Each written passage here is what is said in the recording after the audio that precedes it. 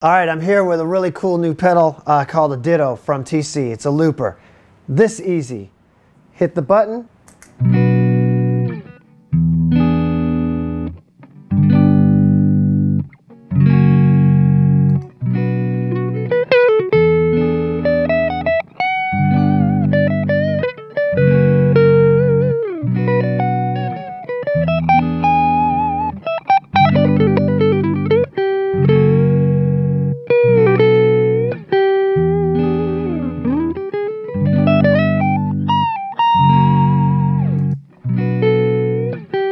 pretty cool, right? Ditto by TC Electronics.